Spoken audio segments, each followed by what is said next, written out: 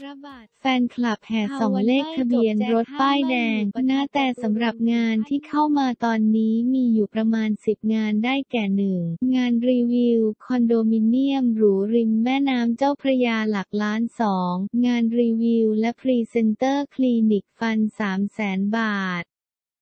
3. งานรีวิวและพรีเซนเตอร์ของท่อน้ำเกษตร 500,000บาท 4. งานรีวิวและพรีเซนเตอร์สมุนไพรเสริมความงาม 1 ล้านบาท ลุงพลป้าแตน 5. ร่วมแสดงมิวสิกวิดีโอเพลงคนเดียวในดวงใจ ของธันวาราศีธนู 20,000 บาท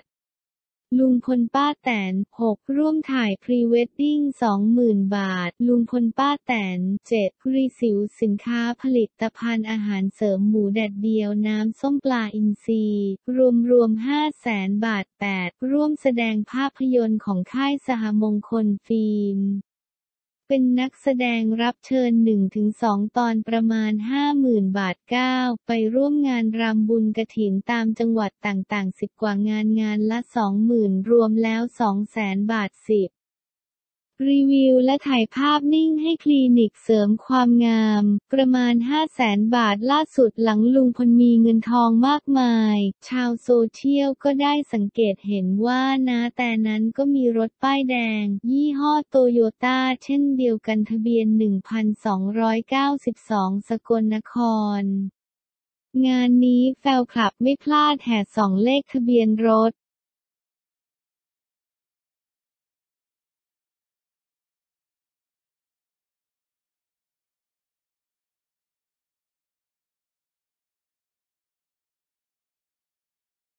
บ้านไหนได้สิทธิ์บ้างเช็คเลยลดค่าไฟฟ้าหน่วยละ 3.63 กันยายนถึงธันวาคมการปรับลดค่า FT ดังกล่าวจะส่งผลให้ค่าไฟฟ้าเฉลี่ยลดลงเหลือ 3 บาท 63 สตางค์ต่อหน่วย จากปัจจุบันค่าไฟฟ้าเฉลี่ยอยู่ที่ 3 บาท 64 สตางค์ต่อหน่วย ไม่รวมภาษีมูลค่าเพิ่ม หรือคิดเป็นส่วนต่างราว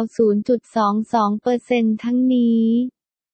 ถึงแม้ว่าภาวะราคาเชื้อเพลิงจะลดลง เนื่องจากวิกฤตและทำให้ต้นทุนการผลิตไฟฟ้าลดลง ก็ตามแต่กกพยังห่วงเรื่องปริมาณการใช้ไฟฟ้าที่มีแนวโน้มลดลงอย่างต่อเนื่องจากภาวะเศรษฐกิจชะลอตัว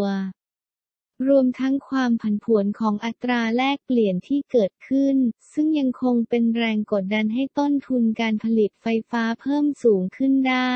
สาเหตุหลักของการปรับลดค่า FT งวดนี้ เนื่องมาจากราคาก๊าซธรรมชาติที่ลดลงก่อนหน้านี้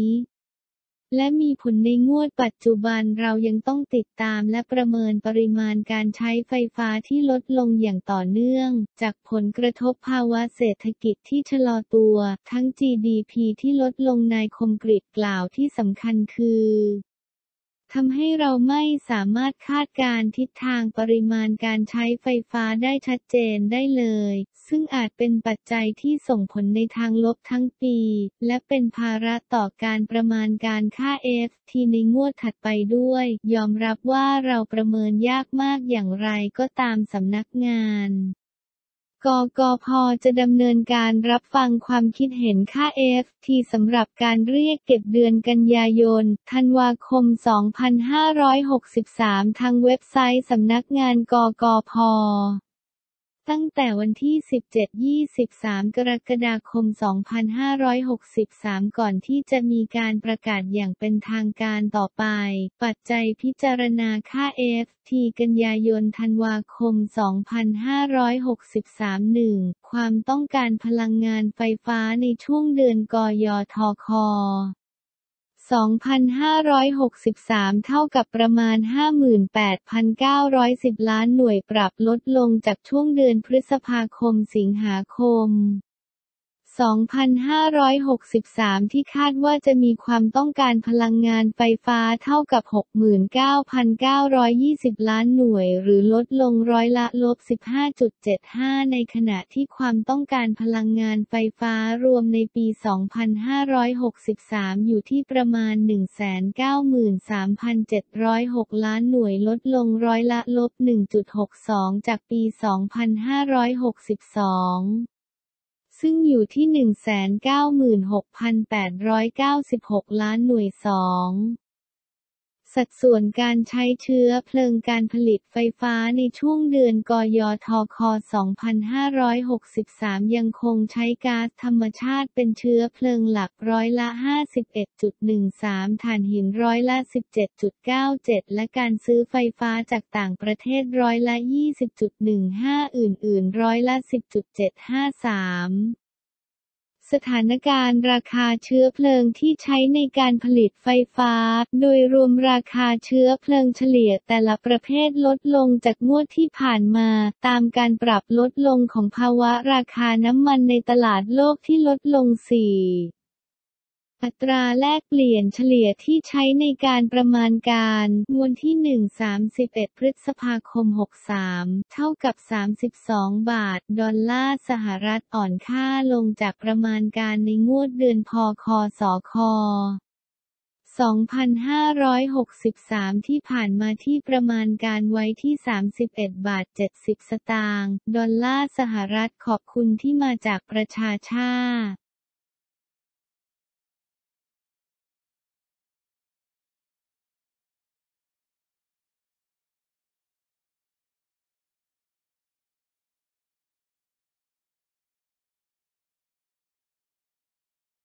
ว่าที่เศรษฐีคนใหม่ลุงพลป้าแตนรับสิบงานเงินเข้ากระเป๋าเจ็ดหลักลุงพลป้าแตนต่อมาด้านเพชรสหรัฐได้เปิดเผยถึงเพลงความจริงในใจ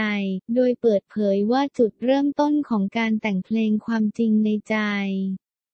เนื่องจากตนได้เห็นคลิปที่ลุงพลร้องเพลงของคุณปู พงศิษฐ์คำพีก็เห็นว่าลุงพลมีเสียงที่เพราะเนื้อเสียงที่กว้างตนจึงอยากหาเพลงซักเพลงที่มันเข้ากับน้ำเสียงของลุงพล จึงได้เขียนเพลงนี้ขึ้นมา โดยเนื้อหาของเพลงจะเป็นเนื้อหากลางๆ โดยไม่ได้ยุยงหรือเอ็นเอียงไปฝั่งใดฝั่งหนึ่ง เนื้อเพลงจะเกี่ยวกับใครสักคนที่เรารักแต่กลับถูกคนอื่นมองว่าเราไปทำร้ายคนที่เรารักทั้งๆทที่เราไม่ได้ทำ ซึ่งเนื้อหามีความเป็นกลางมาก ๆ และตนมองว่าสถานบันเทิงต่างๆ ก็จะสามารถนำเพลงนี้ไปร้องได้ เพราะเนื้อหาเพลงเข้ากับคนที่อกหักภาพจากทุกโต๊ะข่าวเพชรสหรัฐกล่าวต่อว่าตนใช้เวลาแต่งเพลงนี้แค่ 15 นาทีเท่านั้น เพราะตนรู้เรื่องราวจากข่าวอยู่แล้ว ตนจึงแต่งเพลงที่เน้นว่าลุงพลได้เจอกับสถานการณ์ต่างๆ ถ้าเกิดว่าเราเป็นลุงพลแล้วเจอเรื่องแบบนี้ เราจะทำอย่างไรอย่างไรก็ตามสำหรับสิ่งที่คาดหวังในเพลงนี้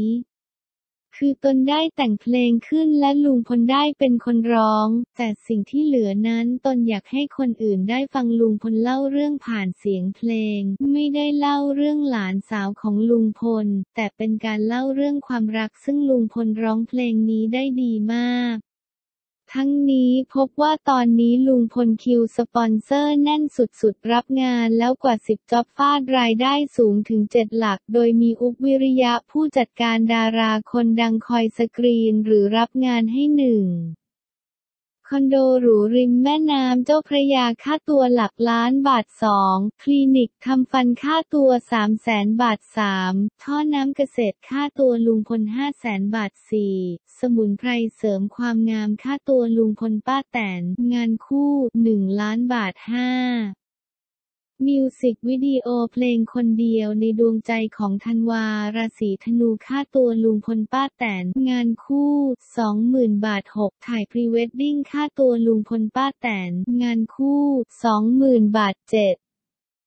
รีวิวอาหารเสริมหมูน้ำส้มปลาอินทรีค่าตัว 5 0 0แสนบาท 8 งานแสดงภาพยนตร์ค่าตัว 50,000 บาท 9 งานรำบุญกระถินทั่วไทยรวม 10 งานค่าจ้างงานละ 20,000 บาท รวมประมาณ 2 0 0แสนบาท 10คลินิกเสริมความงามค่าตัวลุงพล5 0 0แสนบาท